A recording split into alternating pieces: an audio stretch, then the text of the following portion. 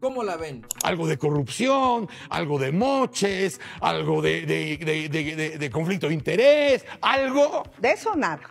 De moches, de corrupción, de eso no hay nada.